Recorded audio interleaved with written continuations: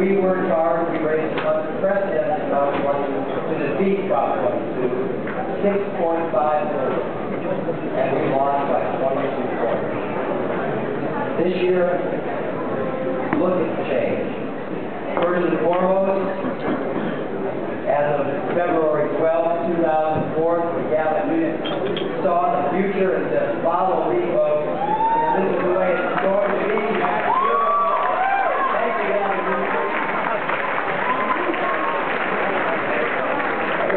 I will. Our legislation, on Sacramento, we began a conversation with California about the issue of marriage.